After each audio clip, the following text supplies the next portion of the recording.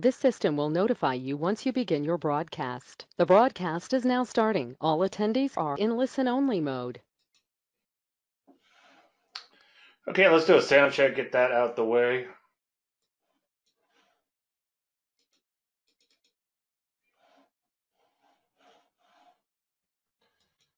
Loud and clear. Thank you, James. Good to see you.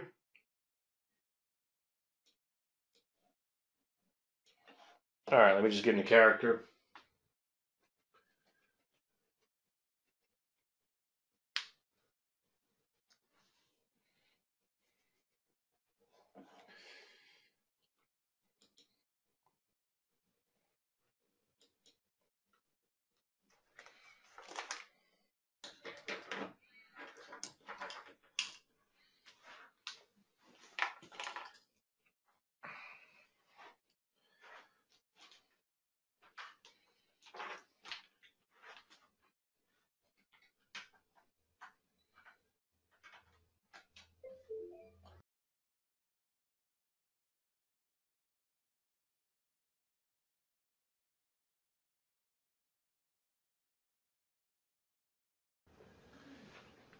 Hello, everyone. Today is Thursday, May 23rd, 2019, and this is a week in charts.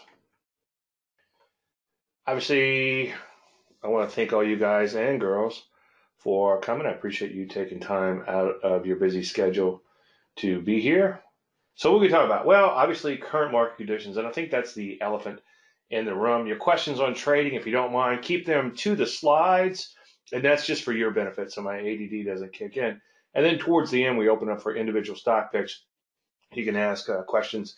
And in general, anything requiring a lot of thought, I will put together a presentation and we'll do it in the members area. And I'll give you maybe I'll give you access. I'll give you access to the Q and A for that particular week. Hold off on your stock picks until we get to the individual charts. Think about them though now, so uh, we'll be ready. We won't wait around for those. Also, just ask about one stock at a time, and that's for your benefit to make sure it gets covered. So, what are we going to talk about? Well, I think I'm going to continue on with what we talked about over the last few weeks, and definitely want to focus mostly on the market itself, but I still want to continue to talk about a simple little system for timing the market. Now, as you know, all predictions are about the future, and a lot of stuff can happen between now and then. Stole that from Greg Morris. And the disclaimer screen also flew by a minute ago. You can get that off my website if you're really bored. Uh, there's a lot of interesting things in there, though, like, you know, in case of rash, discontinue use. If you smoke after sex, you're doing it too fast, and things like that. All right, I want to do an update on a TFM 10% system. I don't want to spend a lot of time explaining the system because we've done it over the past several weeks and I kind of beat it to death. But basically, we're just looking to get out of a market when we're 10% away from the 50 week closing high and we close below the 50 week moving average and we buy the market or get back in, whatever the case may be, when we're less than 10% away from that closing high and we are above the 50 week moving average, or two lows, I should say, or above the 50 week moving average. In other words, there's two weeks of Landry light. And I'll walk you through quite a few on this. And we want to exit again when the market's 10% or more away from its 50 week closing high. So the theory is as long as the market is doing okay, meaning okay in this particular instance that we're within 10% of the closing high, 50 week closing high, and we are, let's say, two weeks, or two weeks exactly, above the 50 week moving average, then we want to get long and we want to stay long until and unless we're more than 10% away from that 50 week closing high and we close below the 50 week moving average. And that's the whole system right there. Really, really simple, but it's easy to get a little tripped up on it here and there. So again, we stay long as long as there's Landry light and we're within 10% of the 50 week closing high and the ribbon on the bottom you can see stays bullish. And then when we're 10% or more away from that 50 week closing high and we close below the 50 week moving average, then we look to get out, or we do get out. The theory here is if the market's going to go down 50%, it's going to go down 10% first. And conversely, if the market's going to go up another 100%, it's going to have to get within 10% of that closing high. And that's pretty much it. I noodled with this quite a bit, and I was very reluctant to put any whipsaw filters in at all. And the only whipsaw filters we have, as you know, is just two weeks of the Landry Light, which introduces a little lag to the system, but in some cases, it will take out a little bit of the whipsaw. So the last sell signal we had, and I'm going to talk a lot about what's happened since, but we did have the sell signal on November 23rd, 2018 and you can see the little ribbon in the bottom went bearish on that. And again, I'm going to just kind of whiz through all these so we can get to a couple of thoughts I want to talk about this week. So we did have a buy signal fairly recently, and we're still under that buy for now, by the way. And notice that we were within 10% of the 50 week closing high, and there was Landry Light, in other words, two weeks where the market was above its 50 week moving average. Now, again, I'm not trying to sell you a system. The point I'm trying to make is that a system, a simple system, can work. And one thing that we talked a little bit about last week at the last minute, I programmed. I'm always doing like last minute research or something. I'm thinking about moving the weekly charts up an hour just so I have more time to get get done. But what is it called? The Parkinson effect. Work will expand to fit the amount of time available. So I'd probably just end up doing more research, but I'm noodling with that. But let's take a look at what I developed last week right before we went live and flesh that out a little bit more. So basically, I'm saying I want to plot an indicator that is 10% away from the 50 week closing high. And that kind of gives you a visual representation of when you are within that 50 week high. Okay, so as long as you're above this line, in other words, visual representation, representation is as long as you're above this line, you're doing pretty good. When you're below this line, things begin to get a little questionable.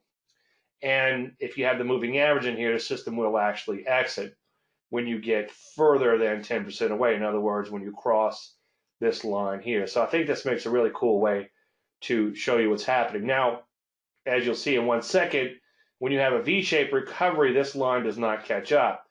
But when the market drops for a long, long, long time, in 2002, 2003 was a great example of that because it took so long for this market to bottom. Your 50 week look back period just kept dropping and dropping and dropping and dropping. And that was able to catch up to the market fairly quickly. And you could see it would have got you in pretty soon, or early, I should say, in the developing bull market after that bear market. Now, on the flip side, if you do have like a V shaped recovery, it's going to get you out of the market. The only problem is it's not going to get you in at lower levels. And that's just a nuance of the system, and that's not always a bad thing. For instance, the last time we had this little drop when the system sold out, notice that the line stayed flat. It did not follow the market lower. Now, if we would have gone into a longer term bear slide, then it would have would have begun to follow the market lower. Now, like I said last week, and again, I'm not going to beat the dead horse too much on this, but the main thing to glean from this or any other simple system, such as Landry Light, for instance, notice the Landry Light below the 50 week moving average for a long, long time. Look at 50 week bow ties if you want. I, I kind of beat the dead horse on that so much, people ask me to stop showing them. But these little simple systems can work quite well. And here you have Landry Light almost this entire, in fact, maybe this entire bear market of 2007. 2007 caught everybody off guard, but we had so many signals that triggered. And then, and again, I know I've said this over and over, but even in October of 2007, right as the market was making new highs, I couldn't find a long to save my life. And finally, I was like, well, guys, I've got to show you something here. I'm just seeing these shorts. Let's start shorting this market.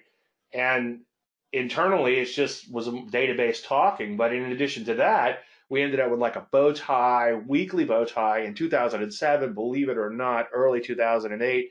But then there was a plethora of other signals back then.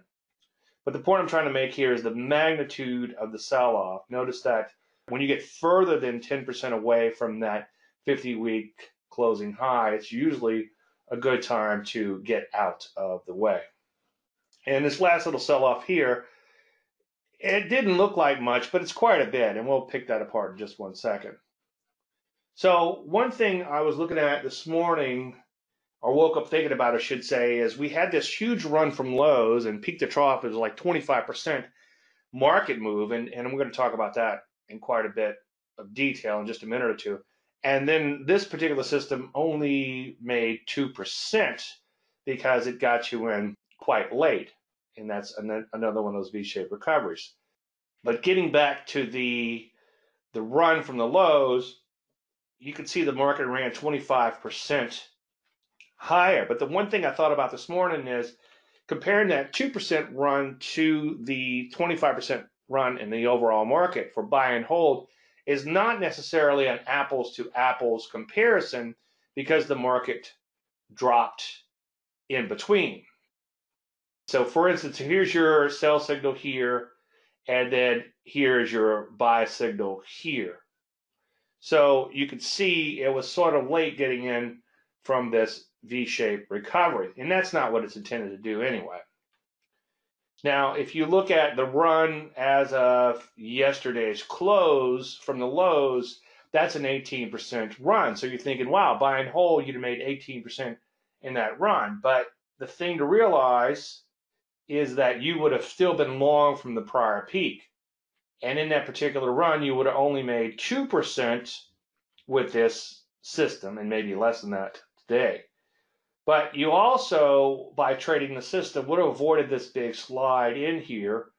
And that's an 11% slide, and that's significant. When my phone starts ringing from friends and relatives, and they start panicking, in one particular case, they were they were down quite a bit in the 401k, twice as much as they put in, plus plus more.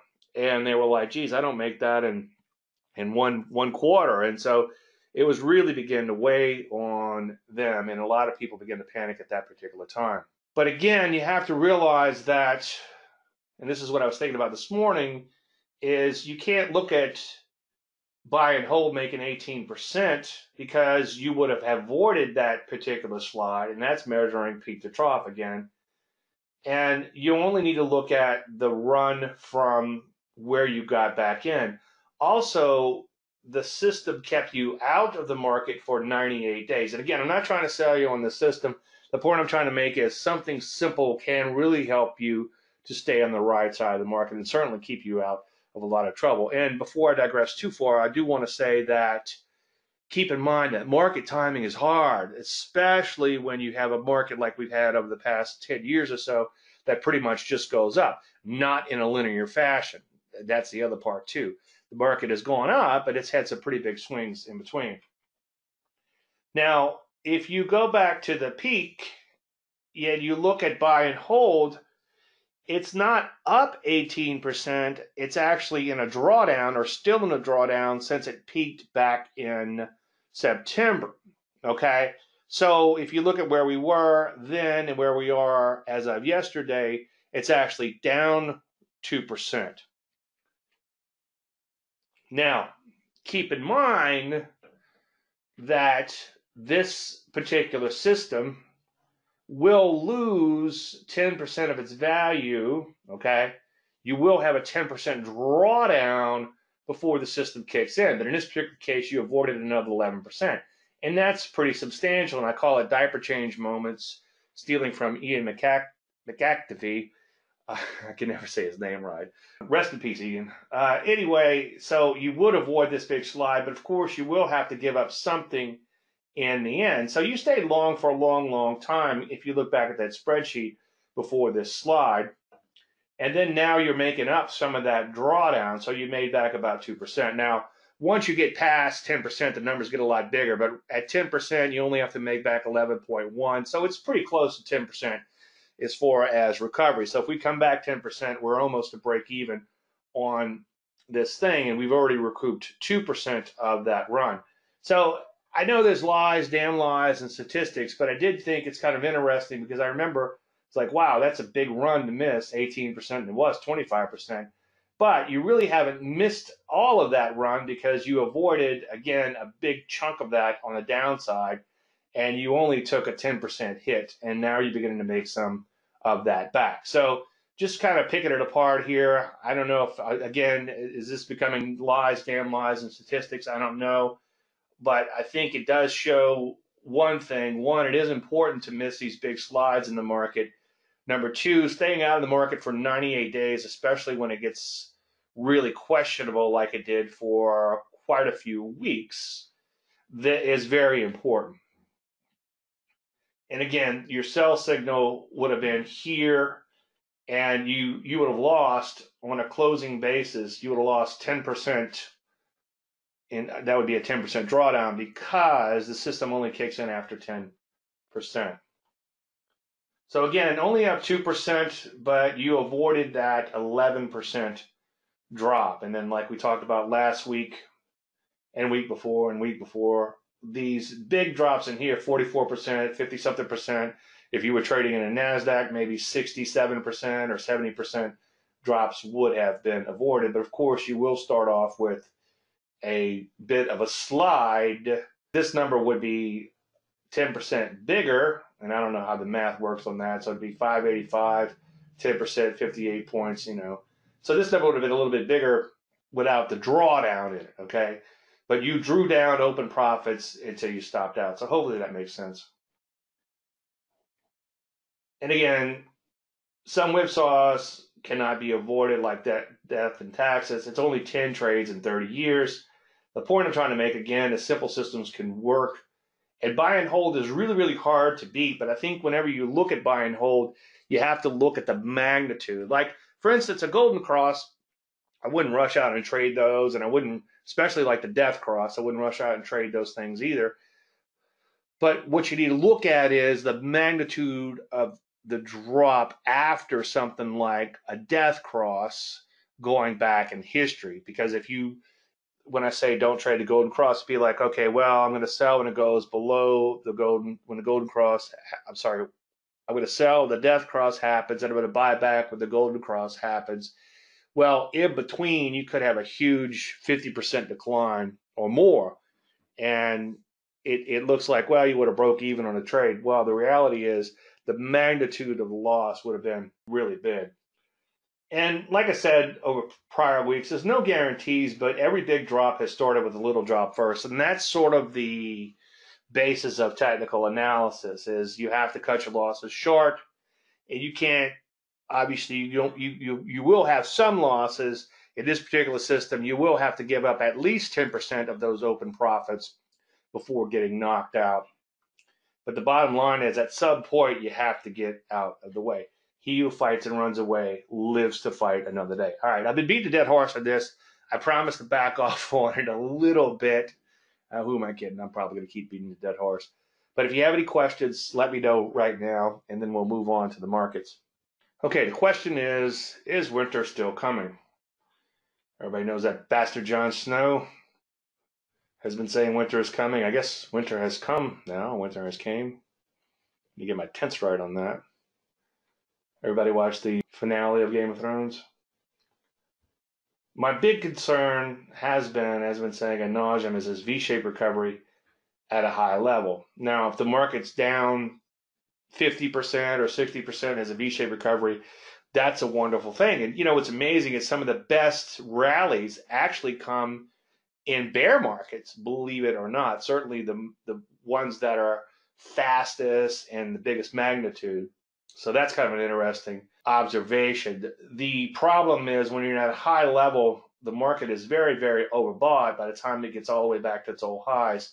And it's very hard for it to sustain that rally. And again, that's a 25% run. So that's very substantial. Now, if we look to the S&P 500, the moving averages of 20 to 30 were right about the same level this morning before I check. Now, with today's open, if we close anywhere below where we are now, it should have an official bow tie down.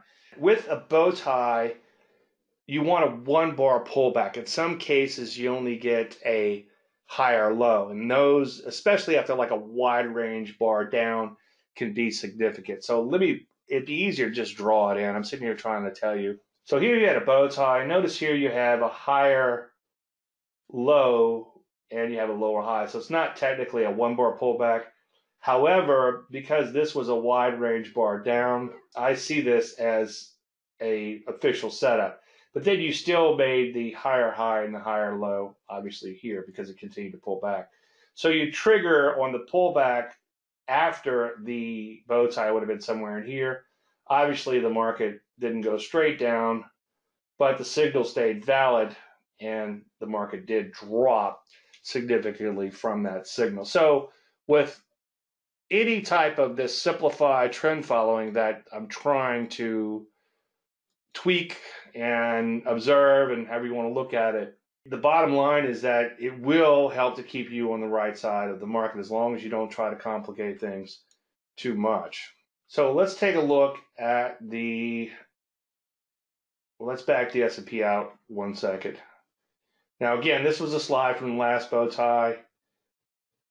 My big concern, in addition to the V-shaped recovery, is the fact that we do have a potential double top in the works. Now, as I often say, keep in mind that a double top rarely unfolds like it does in these classical technical analysis textbooks, or even in more recent times, people show you, oh, it's a double top and all that. Well, a lot of times, as I often say, they undershoot or overshoot that double top and that tricks even more people into the market. For instance, if we would have overshot this uh, double top by a little bit more, in fact, we did make new closing highs, and that's probably enough to suck some people in. But if we'd have shot up here somewhere, it would have sucked even more people in before it turned around and spit them out. Some people call it a bear trap, so that's probably a good way of putting it. Now, NASDAQ has officially crossed over as of yesterday. So with today's data, it, it will certainly probably, almost guaranteed, unless we have the mother ball rallies, still be an official crossover.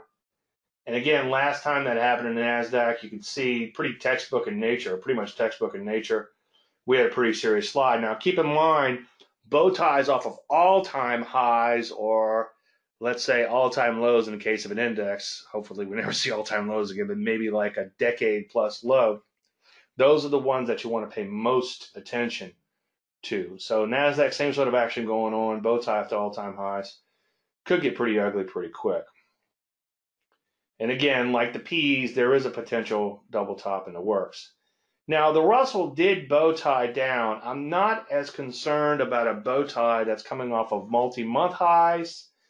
I am concerned, again, when it's coming off of all time highs like we did back here. And then, as you know, we had a pretty serious slide from here all the way down to here. That was fairly ugly. What concerns me is the fact that we had this big picture retrace in the Russell 2000, and we didn't make it back to old highs. We stalled well short. And we had just enough fake out in here to possibly suck some people in. Now, remember earlier I said double top never shakes out or usually doesn't shake out in a textbook fashion. What happens is right around this level here, people are thinking, well, it's going to go back to the old highs. I better just jump in. And then the market turns around and spits them out. So this is fairly ugly. This actually had was captured like right after the open. So on a weekly basis, you can see so far it looks like it's trying to make a new leg lower. You know the routine one day at a time. If this thing gets back above 160, then we might be okay. Okay, any questions on the market itself? We'll take a look at some sector action, a few other things in just one second. I want to talk a little bit about discretion versus throwing caution to the wind. So we entered this pins trade about a week ago, and then unfortunately it began to implode on the next day, and we're going to pick that apart in just one second. So we had a stop at 24. Now, technically and mechanically, that stop got hit. Okay. So if you're following everything on a mechanical basis, if you were new to trading or new to methodology, there's nothing wrong with getting out on a mechanical basis, meaning that if the stop's at 24, you get out at 24. However, as I preach and as I talked about a lot in yesterday's Q&A, it's been harder in more recent years to make things work mechanically. In other words, if I say, hey, get in at 30, put a stop at 24, let's have an initial profit target at 36, it's like, well, it might get to 35 and three quarters and just not quite get to that initial profit target. Or it might have like a gap open on the trigger and then come right back in. So if you're using a little discretion, it would not have been a technical entry. And as I think I said yesterday, we had either three out of four or four out of four trades, and at least three of those worked late last year. And these are the ones that really stick out in my mind. But every one of them, or at least three out of four of those, required a tremendous amount of discretion to make them work. Now, that's this doesn't mean you're throwing caution to win and not honoring stops, but if something gets nicked, if you have an opening gap reversal or something like that, then you go ahead and just give it a little bit of discretion. So in this particular case, officially, yes, it got stopped out, so it, it scores a loser in the portfolio, but it did find its low this morning. This morning, so if you have an uncle point, let it open. Now, again, throwing caution to the wind means if it keeps dropping, then you just don't pay attention or whatever. You close your eyes, I should say, stick your head in the sand, whatever you want to say, and you let it just keep dropping, then you, you can get in a lot of trouble fast. But if we take a look at what happened this morning, you could see that it did dip well below that stop, but it was only like 20 cents. When you look at a five minute chart, it's a little bit scarier. And then it found its low. So if you have your stop, your new stop below this uncle point, so to speak, or right around this uncle point, about 2360 or something, you're risking a little bit more in a trade, but the idea is that maybe you survived that shakeout. Now, one more thing I want to show you with this Pinterest trade, and I'm rereading Linda's book, Linda Raschke's book, and it's really good. And I'm nearly done with my reread, and I thought it was kind of cool that she she did she brings up a lot of really good points when it comes to the markets. And one thing she said, she lost a lot of money. I guess it was hogs or something. But one thing she pointed out is if you do lose a lot of money in one particular market, you don't have to make it back in that market. You can make it back somewhere else. So you do have to be careful of revenge trading. But in the case of the pins, which imploded overnight, I figured it was worth going in for an opening gap reversal trade. And then I picked apart this trade yesterday, so I'm not going to go into a lot of details. But if you go into Q and A, I talked a lot about my thinking in this, and it really didn't work out that great. Made a little bit on the first loaf and then scratched out on the remainder. But I was able to make back a little bit of those losses overnight. Now, again, you got to be careful not to revenge trade. But in this particular case, I figured, okay, it's a deep retracement on an IPO. It's oversold. It does have the potential to turn back up. And I actually thought, and maybe I was just hoping, but I actually thought it would go positive on a day. If that would have happened, I would have done really, really well. But I made back a little bit on the trade. Okay, any questions about anything so far? If you are a member, a golden member of my members area, make sure you do join the Facebook group. If I haven't approved you yet, please let me know. There's some really good commentary that gets posted there. And I've found quite a few trades from the group, and I've actually thrown out a few trades too that have worked out, knock on wood. So check that out. And again, I'm not going to go into a lot of details in this because I talk about it every week, but if you truly do want to be successful, I believe the members area, of course, I'm biased, but with the learning management system, we could see where you are, where your progress is, and where you might need a little work. And then I could fill in the holes with the bi-weekly Q&A. So check that out. And then my ultimate goal is to create a mastermind group. And I think the Facebook group is sort of morphing into that where, like I said a minute ago, it's very hard to make things work on a pure mechanical basis. And I think in talking with each other, we're able to, of course, flesh out some ideas. And number two, we're able to figure out ways to beat the market. And then the other thing is like it's not my way or highway. I'm noticing that some of you guys are doing things slightly differently, and I like to try to keep everybody focused on the trend following and the methodology in general. But it is kind of interesting to see where some of you guys are a little bit of FOMO here and there and doing certain things, but willing to live with those decisions by getting a little getting a little early. So anyway, I've been having a lot of fun with it, so that's been really really cool. All right, let me get my charts up and running here. All right, let's take a look at the overall market. Let's take a look at the micro and then work our way to the macro. So on a micro basis, let's take a look at the P's. The S&P 500. And let's take a look at the spiders to get a true open. So this morning, the spiders, they gapped open, obviously. And so far, they haven't reversed from that gap. Now, if you take a look at a daily chart, when you gap below a major low or even a not so major low like this, it's a little bit more concerning, but it's still concerning nonetheless. Now, when it's down here, gapping low to low, sometimes that could be an opening gap reversal type of play. For instance, SOXL, this thing is severely oversold at this junction. Now, not that you want to be a trend fighter, but what you're doing is you're looking to catch that intraday reversal, that little bounce from that oversold, and you're getting out by the end of the day. Uh, again, this is something I, dis- I discussed in a lot more detail yesterday. But getting back to the P's, as you can see, it's looking fairly ugly in here. In fact, let's clean this chart up. Let's go back to. Uh... So now with today's slide, the bow tie is now official. We did cross over. And then to complete the pattern, you would need a little bit of a bounce. Let's back the chart way out. And again, potential double tops in the works, double top in the work, and that's kind of ugly. On a weekly basis, doesn't look quite as bad, but that double top is still there, and that V-shaped recovery becomes a little bit more obvious. And again, not to beat the dead horse, but the reason the V-shaped recovery is concerning is by the time market gets all the way back to its its old highs, in this case, 25% round numbers, it's pretty tired. And go back in time, and I went a few presentations back when it was like a 15% rally. I showed how many years the market doesn't go 15%, doesn't go up 15%, and it's quite a few.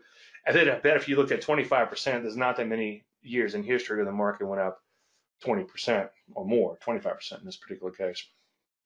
So, so far looking a little ugly in here on the S&P 500. As usual, take things one day at a time, honor your stops, and all those other, what do you call that, disclaimers or warnings apply.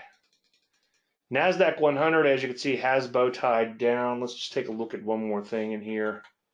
And let's see when that crossing actually happened. So the crossing was 20 is less. So hey, a crossing actually happened here.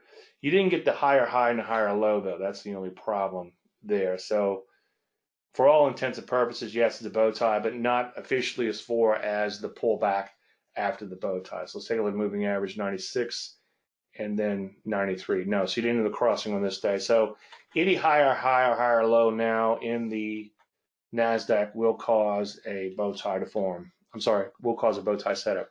So on this day here, if this would have been a higher high and higher low, that would have been your setup, and then it would have been triggering a short coming into the day. But now it's going to trigger after the first bounce. So again, as I've been saying quite a bit, these bow ties from high levels are worth paying attention to. Russell 2000 looks the ugliest of them all. As you can see, retrace rally higher. Let's take a look at the weekly retrace rally higher, and then so far selling off out of that retrace. Now, as you go through the sectors, you can see that they're all looking pretty ugly in here. How's that for an oxymoron from a trend following moron? Stop if you heard that before.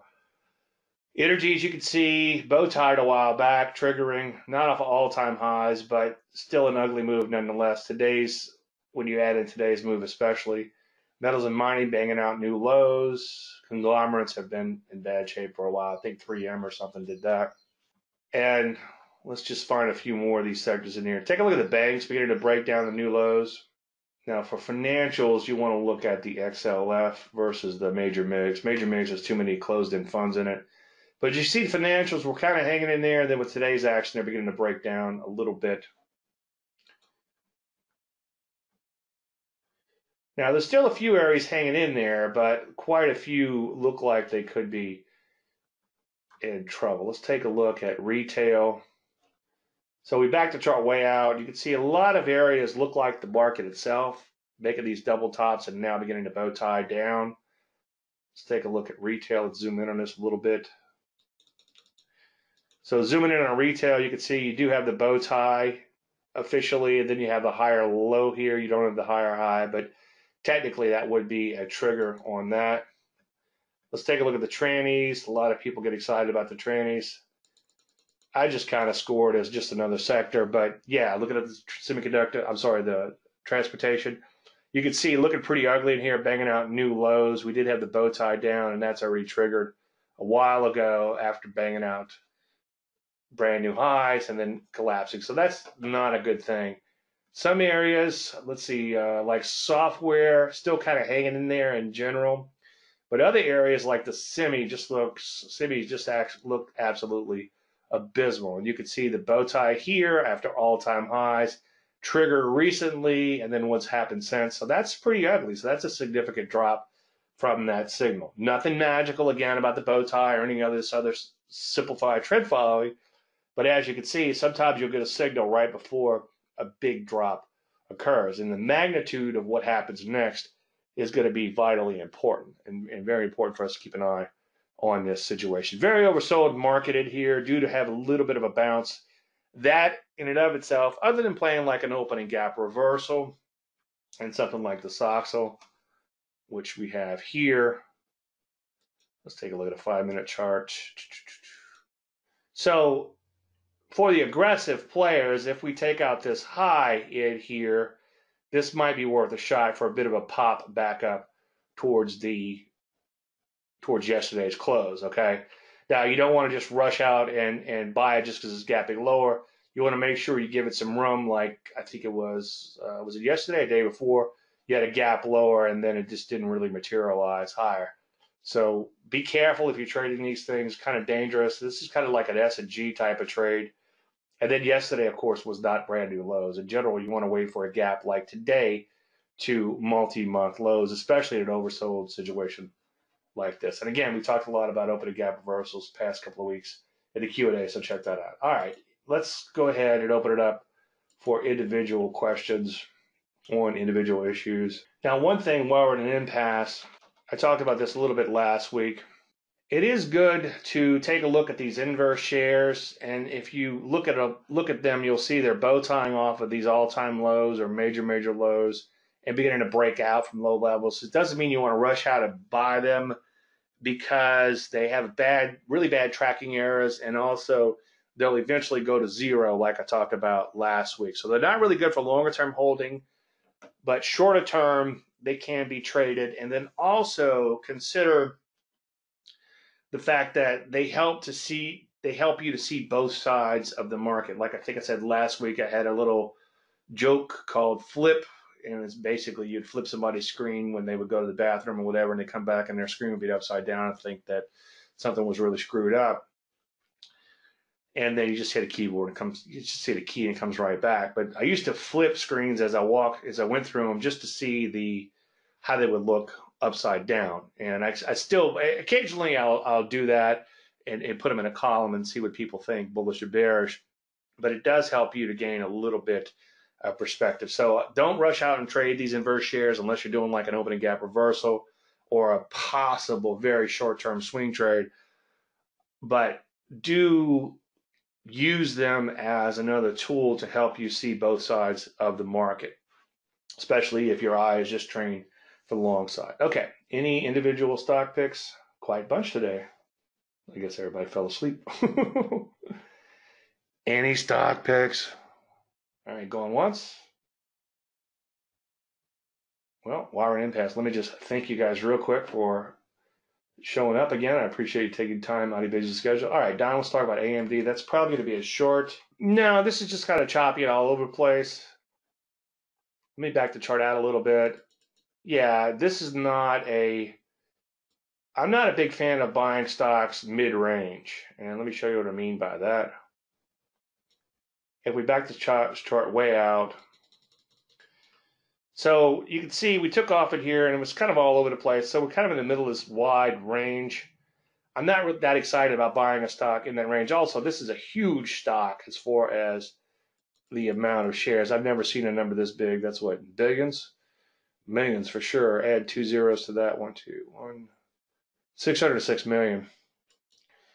So it looks like it's kind of breaking down in here, like the semis themselves. If you did want to trade a semi, take a look at something like ADI, which was in the Landry list for today, and I could say I could talk about it. One because it's thick, and two because it's not an official setup. I think it's got a lot of support down here. I guess that'd be a good problem to have, but I think if you want to short something, find something coming off of all-time highs. Look for that bow tie like we had just right around here and in this particular case, kind of a first thrust type of setup. So look for that type of setup on the short side. Roku.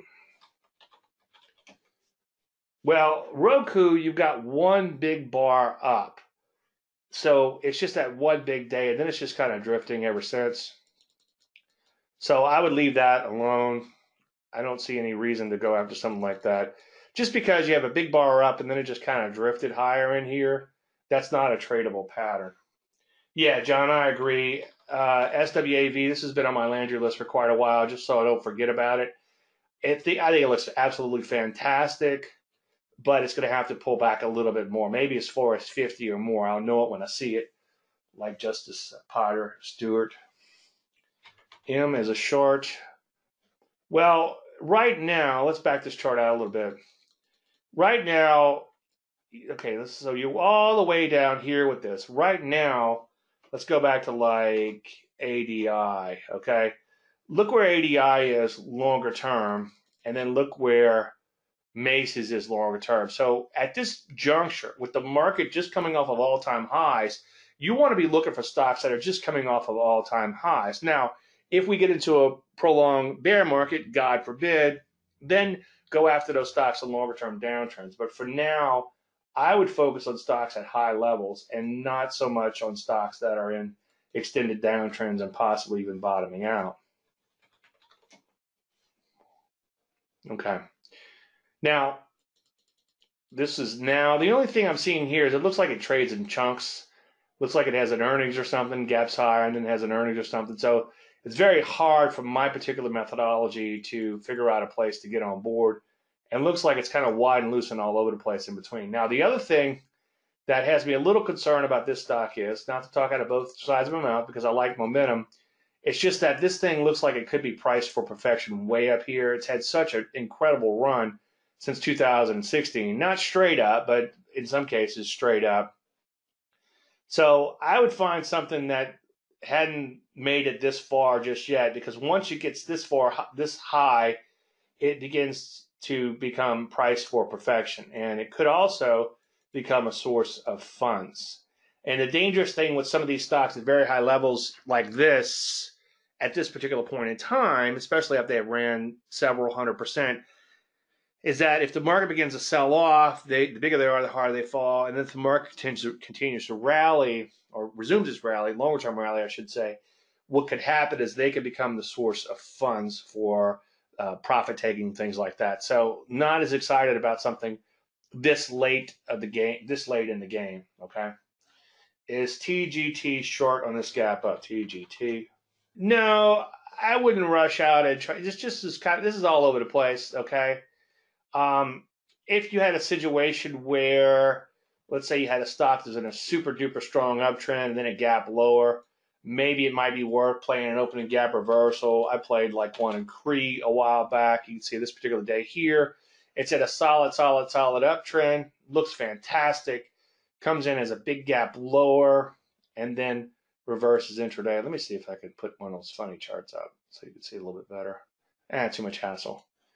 But something in a strong trend, I wouldn't play something like Target, which is kind of all over the place I don't think that's what you want to play for an opening gap reversal in an individual stock.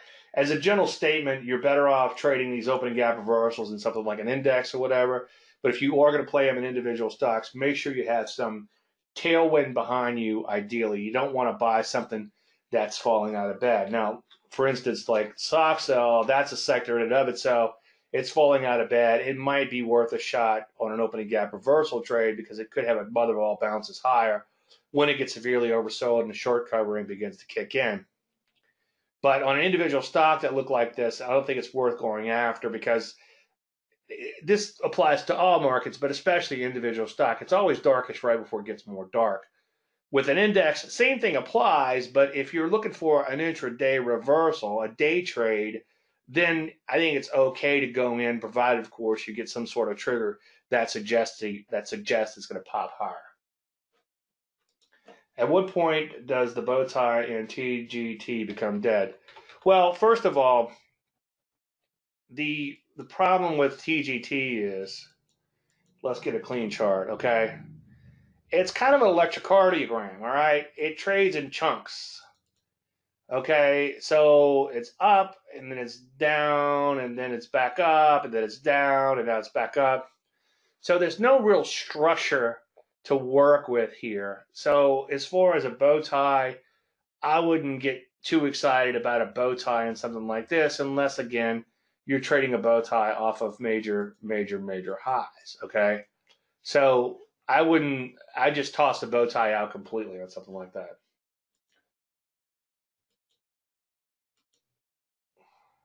Can you show a stock that shows good structure for a bow tie? Probably like ADI. Um, I'm not excited about going short ADI just because it's got a lot of support below the market. But if you wanted to short things, and, and again, this is this actually would have triggered back here. But if we back the chart out a little bit, let's take a look at a decent looking signal here. Stock makes all-time highs. It makes a bow tie down, a little bit of a pop higher. This is also a first thrust too, okay? Meaning that you thrust higher and a little bit of a bounce. So something like that, something off of all-time highs. Again, I mean, we could just pull up any index you want, but with the overall market looking like this, the Qs in and of themselves, okay, could be a great example of something off all-time highs bow tie here, a little bit of a pullback trigger here, okay? That was a beautiful slide out of that. Hopefully, I shouldn't say hope, I don't want it to go down, but from a pattern standpoint, hopefully it's deja vu all over again. And let's see what we got so far. So you have the bow tie down now, official bow tie, so on a bit of a pop. So the overall market is making a pretty cool looking bow tie. So find individual stocks that look sort of like the overall market, Brad. And I think that's if we continue in here, that could be worthwhile. We could begin to short some of these stocks. Okay. All right. So this would be this is just a big gap lower. There's nothing to do with this particular stock. And again, it's kind of just drifting lower. So you certainly don't want to try to pay, play an opening gap reversal when something extreme like this happens and then now you're just kind of meandering lower. If you wanted to short something, this looks like it's already done, and it's also wide and loose and all over the place. You want to short something that has a little bit of structure, maybe just breaking down from high levels like it was back here, but it's still kind of wide and loose stock to begin with. Okay. Any more? Well, while we're in impasse, once again, I want to thank everybody for coming. I Appreciate you taking time out of busy schedule. Anything unanswered that requires thought, shoot me an email, or better yet, uh, submit it through the contact form, davelandry.com slash contact. And if it requires a lot of thought, I'll cover in a Q&A. If it's something that's fairly quickly, we'll cover it in the next week. Oh, you too, Jay. Appreciate it. All right, everybody, enjoy your holiday weekend. If we don't talk between now and then. Oh, by the way, I think I'm going to take off next week just because it's a shortened week, not as much to talk about. So I'll return uh, early June on that. So now I'll have to put a post up somewhere on that. All right. Thanks again, and we'll talk again in a couple of weeks.